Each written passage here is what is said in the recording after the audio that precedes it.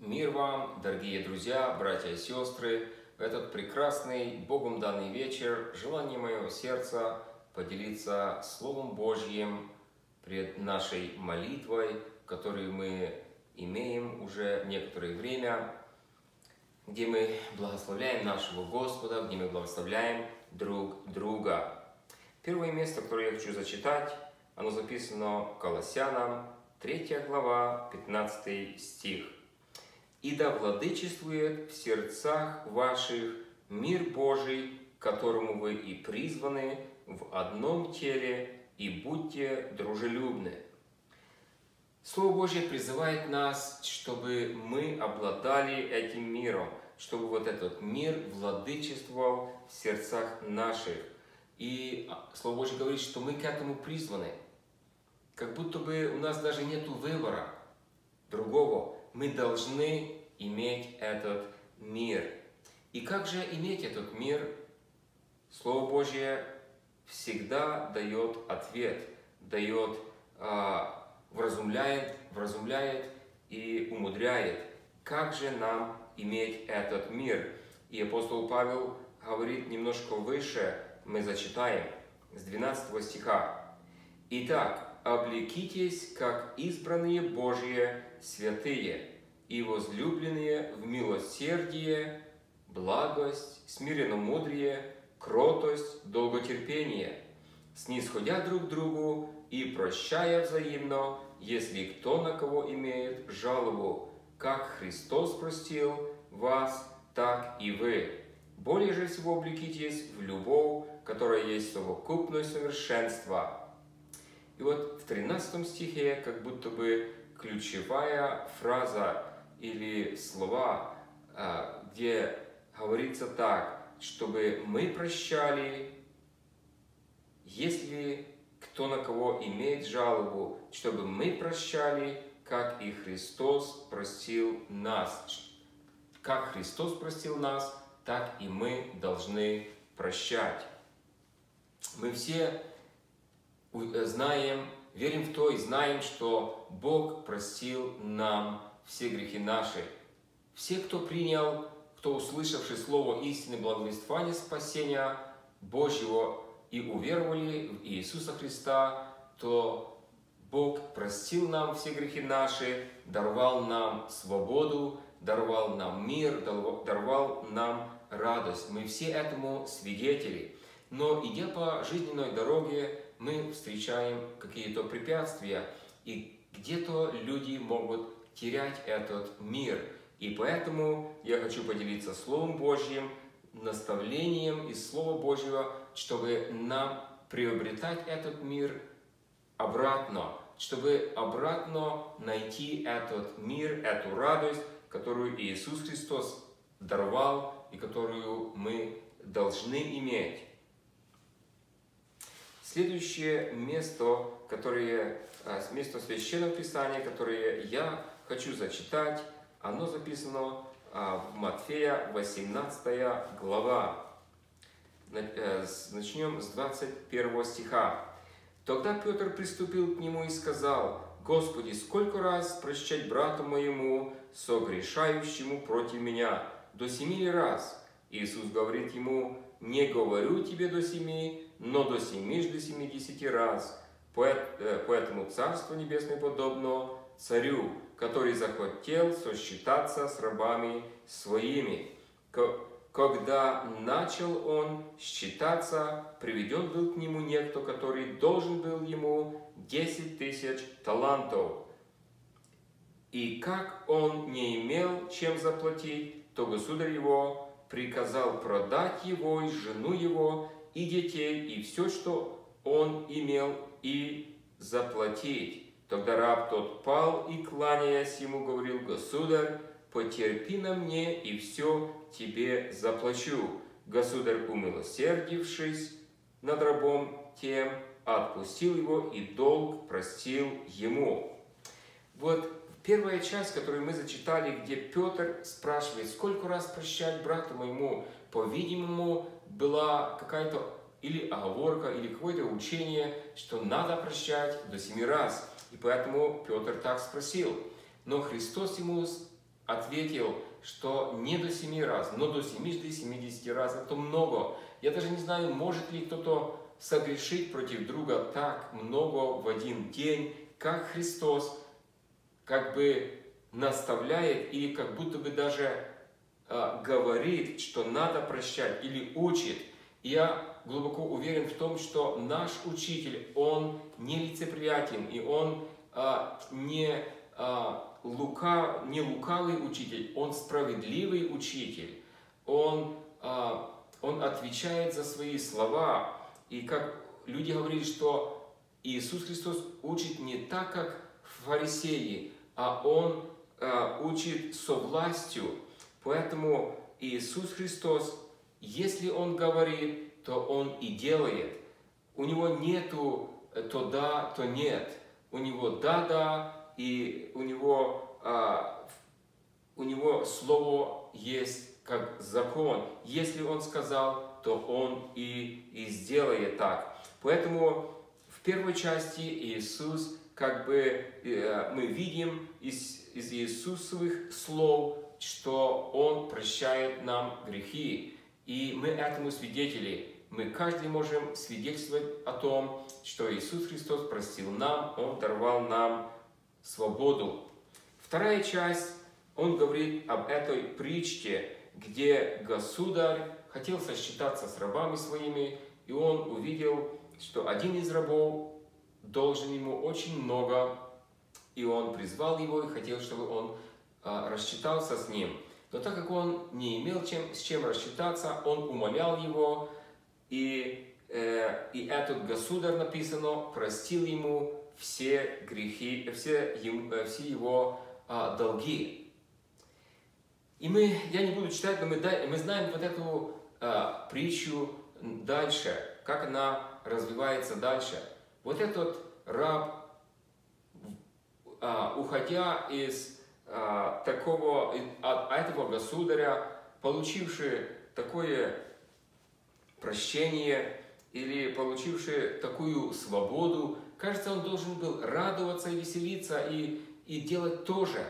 Но, к сожалению, он не сделал так. Он, когда встретил одного из товарищей своих, он, написано, начал душить его и требовать, чтобы он рассчитался с ним. И друзья его увидели это и донесли это государю. Государь призвал к себе назад вот этого раба и говорит ему, я тебе простил весь твой долг, много долга. Не надлежало, не надлежало ли и тебе простить товарищу своему? Но так как ты это не сделал, я должен посадить тебя э, в тюрьму и, и отдать истязателям. И вот эта притча, она немножко как бы затрудняет. И мы с женой э, некоторое время много рассуждали над этой притчей, и особенно а, как бы она волновала, вот эта притча, мою жену, и мы много рассуждали над этим, над, э, над этой притчей, над этим местом Священного Писания, потому что оно как будто бы противоречит другим местам Священного Писания, потому что другие места Священного Писания, они говорят о том, что Иисус Христос прощает грехи и не вспоминает. Написано, Он бросает их в пучину морскую, бросает их за хребет и не смотрит на них. Он а, прощает и не вспоминает. А вот здесь оно как будто бы эта притча противоречит, потому что государь простил все грехи, а потом как будто бы назад вернул и посадил в тюрьму и сказал, пока не отдашь, не рассчитаешься, пока не отдашь ему всего долга, он отдал истязателям. И получается как будто бы парадокс. Если он не смог рассчитаться, когда еще был на свободе, как он может рассчитаться, когда он уже в тюрьме, когда истязатели истязуют его? Так вот, есть еще одно место похожее, место Священного Писания. Оно записано в послании к Коринфянам, где апостол Павел говорит об людях, которые грешили страшными грехами, И это не просто люди мира, это люди были в церкви. И он, Павел, сказал, что я отдал э, таких людей, предал сатане возмождение плоти, чтобы дух был спасен. Так вот, оно, вот эта притча похожа с этим местом э, Священного Писания, где Павел говорит, что он отдал истязателям или, или сатане возмуждение плоти. Так вот этот а, государь простил, грех, простил долги вот этому рабу. Он даровал ему свободу, даровал ему а, мир. Ведь ему надлежало бы радоваться, ходить в свободе.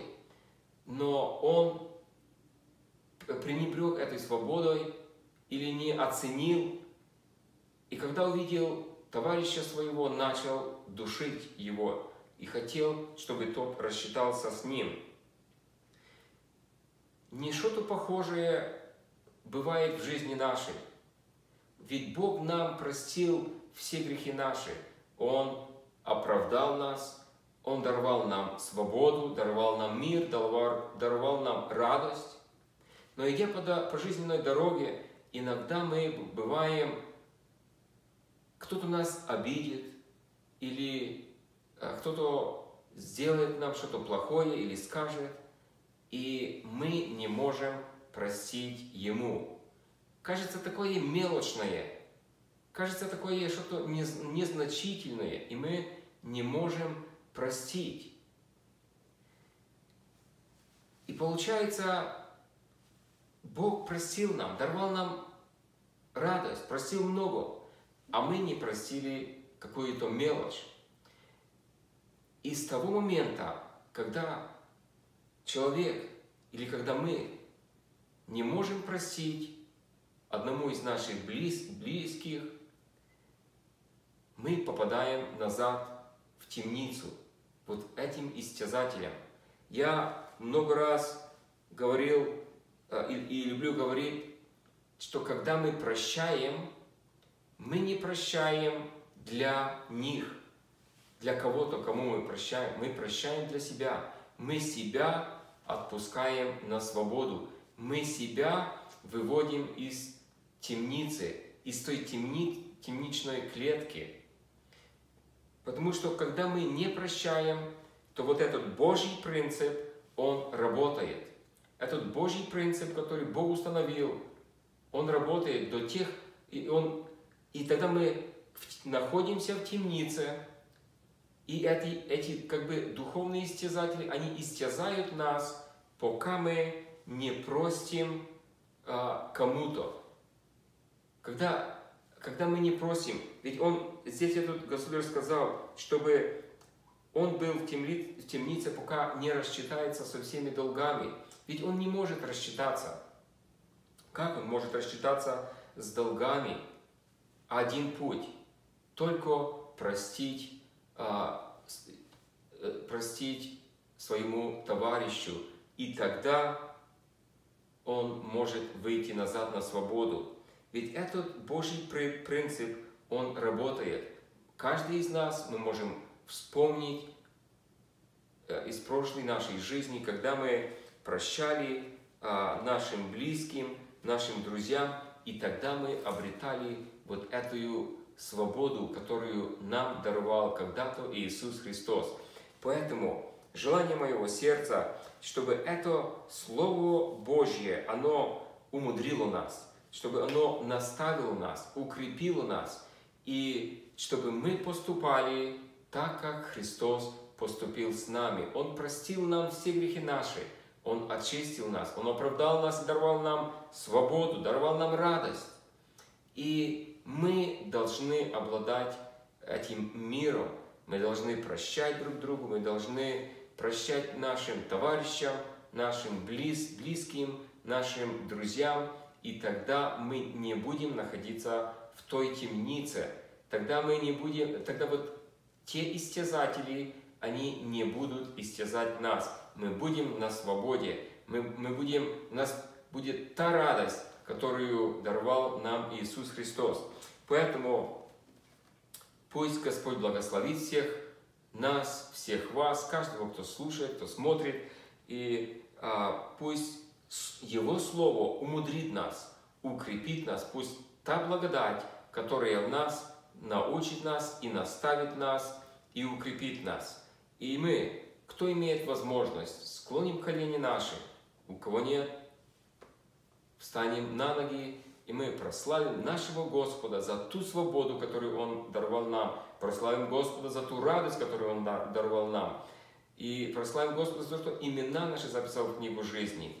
И мы будем просить нашего Господа, чтобы Он Духом Святым напоминал нам, если есть у нас какие-то согрешения, если, если есть у нас какие-то, а, где мы кому-то не простили, если мы находимся в этой темнице, то чтобы мы простили нашим близким, нашим а, друзьям, и тогда мы выйдем на свободу, тогда Господь выведет нас на свободу опять, и мы будем совершать наш путь, радуясь. Аминь. Отец Небесный, моя молитва во имя Иисуса Христа во славу Твою, Господь. Я благодарен Тебе за то, что Ты возлюбил нас. Я благословляю имя Твое свято. Прими, Господь, хвалу. Пусть, а, пусть воздаяние рук наших будет как вечерняя жертва для Тебя в этот прекрасный вечер. Слава Тебе, Господь! Я, я благословляю имя Твое свято. Ты достойный, Ты достойный славы. Ты Отец Вселенной, Ты Творец Вселенной, Ты наш Отец. Слава Тебе, Господь! Ты образ Бога невидимого, Ты рожденный прежде всякой твари. Тобою все сотворено на небе и на земле, видимое и невидимое престола, господства, начальства, власти, все тобою и для тебя. И ты есть первенец из мертвых, и тебе принадлежит первенство во всем. Слава тебе, Господь! Слава тебе! Ты достоин! Ты достойный славы, Господь!